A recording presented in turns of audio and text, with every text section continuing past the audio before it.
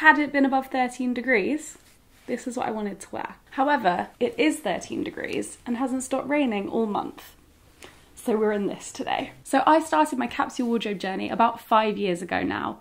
I know, time flies. I would say that I've moved away from the capsule wardrobe model as of late. However, I learned a lot while I was honing and fine tuning my wardrobe. And I'd like to share with you some of my biggest mistakes. It's still not all smooth sailing, it's still a sharpish learning curve, but I, I feel like now's a good time to share kind of some of the biggest regrets I have and the biggest mistakes as a previous capsule wardrobe owner and now still someone who tries to adopt that capsule wardrobe mentality into her current wardrobe. Just at the moment, I'm enjoying playing with fashion a bit more and not being limited so much by numbers. I'd say not much about the rest of my approach has changed. I made a list of, of regrets. Hashtag no regrets. Hello, if you're new around here, my name is Lucy Moon. I talk about beauty, fashion, and lifestyle on this little channel of mine art, culture, tech, pop culture, all of the good stuff. If you'd like to stick around, please hit subscribe and hit the bell notification if you're not new around here but you'd like to be notified when I upload. I didn't just want to make this about purchases that I've regretted. I wanted to make this a bit more like whole so it can kind of be a bit more of like a learning experience as well if you're going through the same thing. Although there are some items that I do regret buying and I will talk about those. My first capsule wardrobe regret is feeling too restricted and then suddenly kind of exploding and buying like a fast fashion haul. This was something I found myself doing throughout my capsule wardrobe journey because I think I was being a bit too restrictive with myself and instead of thinking more so what I will get 30 wears out of, instead I was thinking like must be a small number of clothes the whole time. And so I felt myself kind of like build up and kind of like a fizzy fizzy like drink kind of pop open and just go to Zara and buy 15 items. And I always regretted it. Like there were so many that I'd have to return. Sometimes I'd return everything because it was also disappointing. And then I'd end up paying the like 4 pound postage fee and that would be I'd, I'd, have to pay four pounds for what, you know? And then with that would come guilt and shame and all those feelings around over purchasing. But yeah, I just found it really disappointing and now I'm a bit more loose with what I can buy and what I what I'm allowed. I, I don't put boundaries on it basically. And now I tend to make much more sensible purchasing decisions and I don't explode out of myself the way I used to. I'm not that impulsive with shopping. I kind of know where I'm at with it, the kind of things I like, the kind of things that integrate well into my wardrobe. So if I do see something that nowadays I go, oh, yes, I love it, I'll let myself buy it. And that stops me from doing those kind of build up, explode out the top hauls. My next regret is buying shoes that I don't wear. Now, don't get me wrong, I love a wardrobe essentials video and you know, all the clothing essentials you need to build your wardrobe. I love those, but sometimes they're a little too prescriptive and I really do buy into that. And so I ended up buying like, you know, way too many shoes that I don't actually use or wear. They didn't fit into my lifestyle. So, for example, for some reason, I have like seven or eight pairs of heels and heeled boots. I don't really wear those, and I didn't wear them in the environments that people say you will wear them in, like nights out and evenings out. I always wear flat shoes. I wear trainers or boots with a short heel. I do not wear high heels, and yet I've accumulated them. And I love them and I want to wear them. It's just, I will always pick comfort. And now I know that about me. I'm not an Uber gal. I always get public transport. So I'm always in comfy shoes. And then in turn, that means I only buy a few pairs of trainers, but I overwear them almost and kind of get them too worn out so they actually don't have as long of a life as I'd like them to have. I'm really guilty of buying one pair of shoes and then living in them for an excessive amount of time. I'm currently doing it with my New Balances and I've done it before with various pairs of trainers. So the lesson I've learned from this is that I need to buy more pairs of comfy shoes and actually alternate what I wear just to help with the longevity of the items. And in terms of heels, I almost never need to buy another pair of heels again. I will keep everything I have. I really like all the pairs I have, but I just do not need to buy any more. I need to not fall for it, not fall for the essentials of heeled boots. Ultimately, you know best what will fit in your wardrobe, and I'm actually thinking about making one of those essentials videos, but making it a lot more accessible, a lot more broad, so you can tailor it to what you actually wear. Because, you know, for me, a trench coat is an essential, but for you, you might have never worn a trench coat in your life. Whereas maybe saying a smarter everyday coat might fit more people. It's also worth saying I'm so my mother's daughter. Like, my mum always brought me up saying, you should only wear comfy shoes, only wear comfy shoes, don't even bother buying buying a shoe if it's not going to be comfy.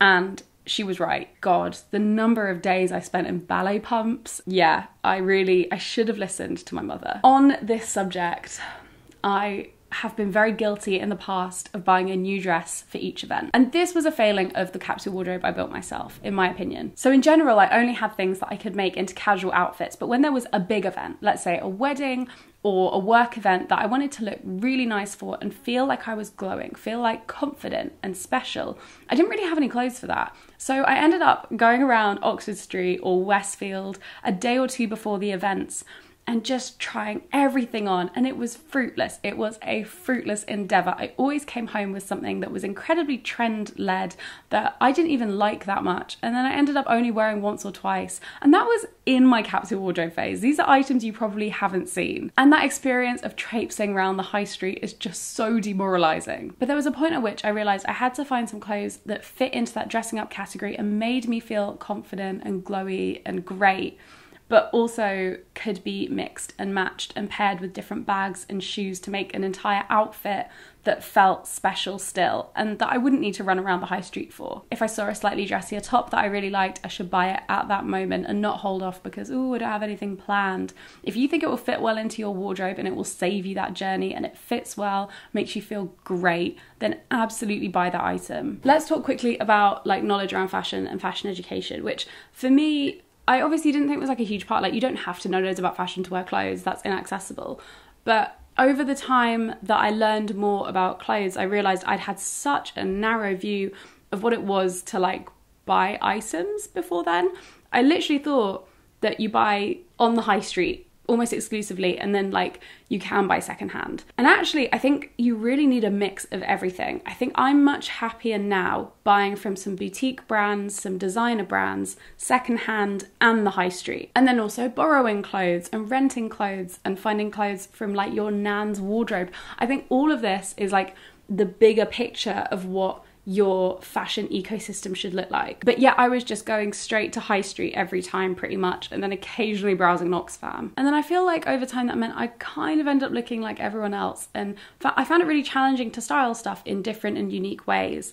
And part of the thing that's kind of brought this change along is the fact that I love now browsing independent and boutique shops for like new kinds of bags and like different kinds of shoes and doing stuff like that and finding these other places from which to buy kind of other pieces to make your outfit special and unique. And for me, that creates some of that glow and makes me feel really special. If I found something special that, you know, maybe I found secondhand on Vestiaire or something, and I'm like, yeah, I smashed this. Every time I wear it, I feel super cool. and so it kind of removes a bit of that pressure to be like, oh my God, I want to be the most confident, the most glowy, the most, um, me feeling person because I now have a wardrobe built of items that make me feel very me. And that does take time. I think there's a bit of a fallacy in the capsule wardrobe concept when you're coming from a place where you don't know much about how like how you like to dress or you don't have any background in fashion or style. There's this idea that the capsule wardrobe is effortless and it's just not it's loads of work. To be building up a wardrobe instead of reducing down they're two entirely different experiences and one in my opinion is much harder than the other. So the whole experience of building the capsule wardrobe was a massive education for me and even building my wardrobe still today. My next capsule wardrobe mistake is being too influenced by influencers. This is an honest one and this is close to my heart and i feel very vulnerable sharing it but if you're watching me, maybe you're in the same boat. I love creating mood boards, putting together inspiration for outfits, saving and organizing all of my clothing ideas. Love this hair for me. But I definitely have also fallen into the trap in the past of looking to influencers and how they style things as the gospel and being very, very swayed on what I bought and what I didn't buy, depending on their opinions on those items. And yes, I'm an influencer as well and yet I am also very influenced. For example, I've come across a shoe or a bag and I've seen someone wear it and think, oh, that's so ugly. And then I see my favourite influencer wear it a week later and I'm like, I want it.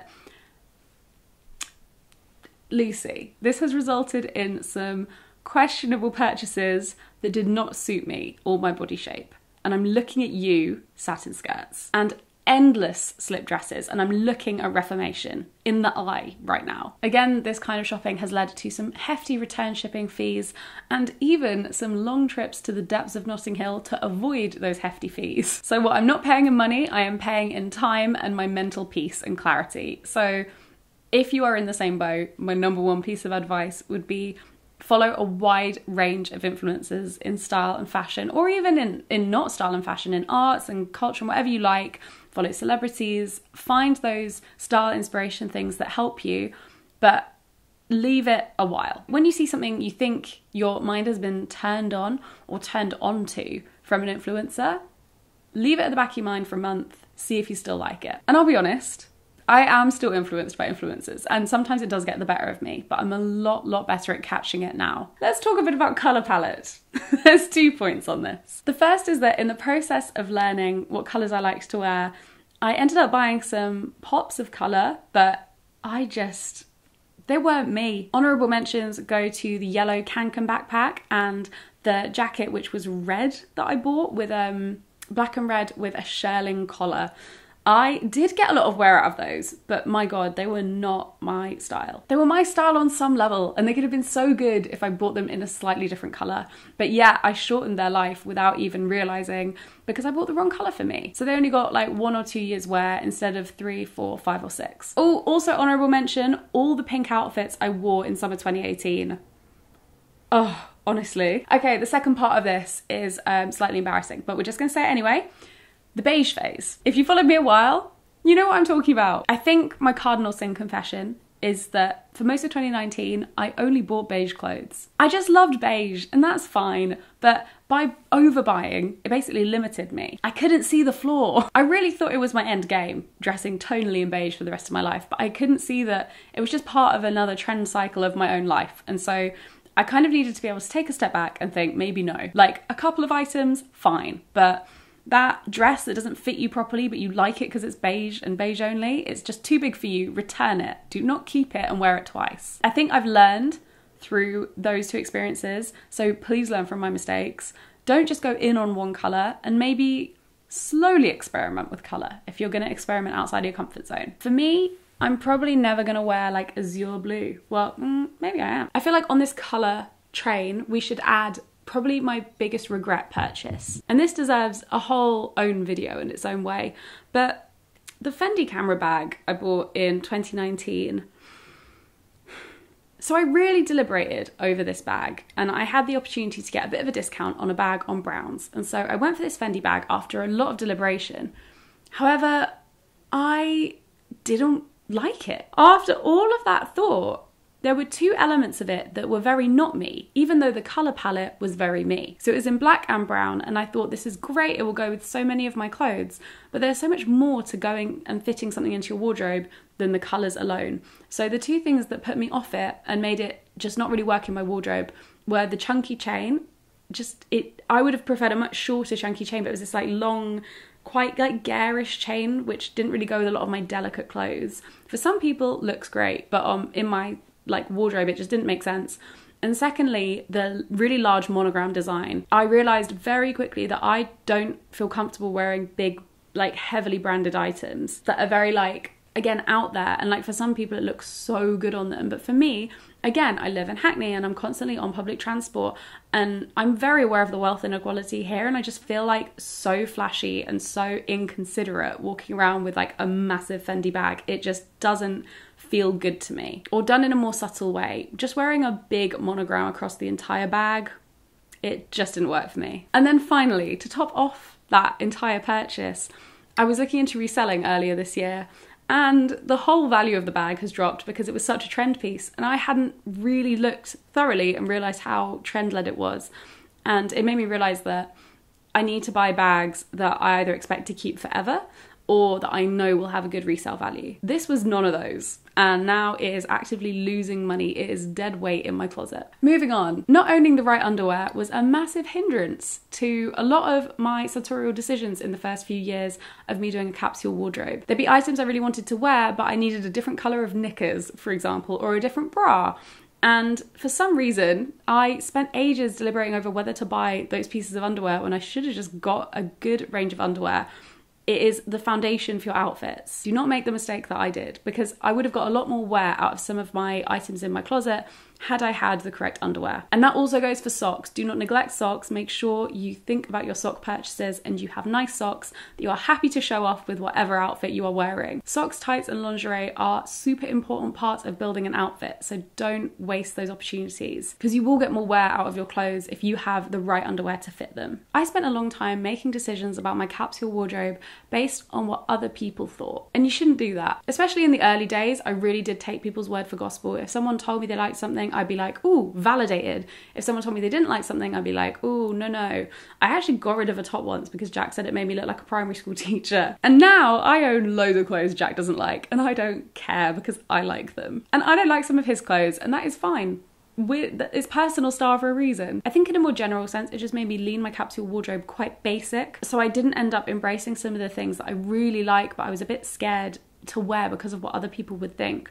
For example, glitter, um, shimmer, any interesting textures or patterns and also feminine cuts. I tend to like lean towards more androgynous stuff because it seemed like kind of the done thing at the time that i was building my capsule wardrobe. It's a really important part of my style and it's great but i do look back and think oh there's so many opportunities i probably missed for clothes that would have fit perfectly into my style and my wardrobe but i didn't buy out of fear of what other people would say. I would honestly say that that moment ended when i bought my leopard print coat. There are lots of people that do not like my coat, but I love my coat. And I think as well, being a bit older, I've seen so many trend cycles come and go that now I take a much more holistic approach. Like it's given me a lot more perspective on the fact that I can buy something, maybe for a few seasons it feels really out of fashion, so I put it under my bed. And then in a few seasons' time, it makes way more sense. So I get it back out. And having that fluidity and that understanding that while your taste might change on a macro level, there's also the much, on the micro level, I mean, there's also a much larger macro scale, and you should keep hold of things that you still really love, just maybe you feel like don't necessarily fit where you're at right at that moment. Ooh, a controversial one. I regret buying sustainable items that I didn't actually like that much. I have many thoughts around how we consider sustainability in terms of fashion and also, to be honest, how gendered that is because I really don't see those same criticisms being levelled at men and men's fashion. In terms of my current philosophy on clothes, I believe that it is much better for the planet to only buy clothes that you genuinely feel you're going to wear for a long period of time. And I don't mind where those clothes come from. If you are buying fast fashion, but you're actually getting at least 30 wears out of it, then be my guest. Because there's a point at which that just levels off. You're not going to be doing fast fashion hauls every week and be able to wear all those items forever. That's just not how it works. And ultimately, we're currently in a system where it's near impossible to entirely support workers' rights and avoid fast fashion. At the moment, it's just a shitty system with shitty alternatives. So I think the idea that you truly just buy sustainable is slightly classist and a whole host of other things. But um, each to their own. You're welcome to disagree with me. There's the point of nuance and opinion is that we all don't have the same opinion on things, and that's absolutely fine. But yeah, for me, the main priority should always be making sure you're going to wear the clothes you buy a lot. Anyway, so with that in mind, I definitely fell into the trap of buying items from sustainable brands or sustainable places, let's say secondhand, and feeling as though, like, oh, that guilt and shame because I'm not buying fast fashion won't be there but then actually not wearing the item at all and giving it away. It's so silly. Like, I just created more waste. And it was all to alleviate my own guilt around shopping. And ultimately, it created more guilt. Just buy clothes you like and you're going to wear. And I was just leaning towards these sustainable items or these secondhand items because I thought I'd feel less guilty when I bought them. And that's not a good reason.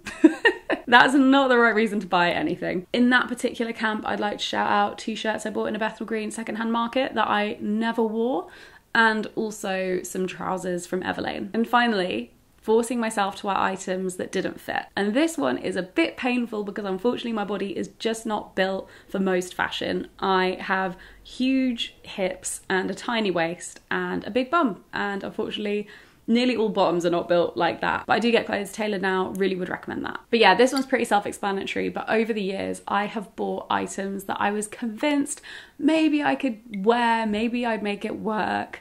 And it never worked because ultimately it was too tight, too small in one place, too short in one place. And I would persevere, but I'd only wear it about six times and then be like, mm, well, I just end up relegating it to the back of my wardrobe for the rest of forever and in particular jeans. Jeans are tough and hard to find, but now I will only buy jeans that fit me, at least are comfy. I'd much rather they were a bit too big than a bit too small. A notable mention will go to the Levi's 501 crop jeans.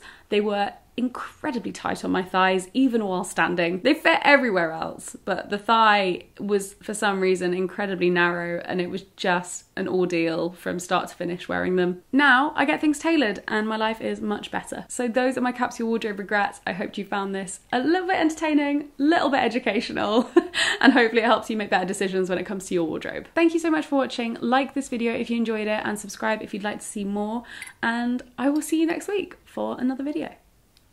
Ooh, ooh, ooh, ooh, ooh. I was actually meant to be filming a styling video today, but as you might be able to tell, the weather is just dreadful. And to film in this room, you kind of have to have a lot of extra light to be able to set it all up. So unfortunately, that was a no go today, but hopefully next week we can hold out. There's gonna be sun, it's gonna be good.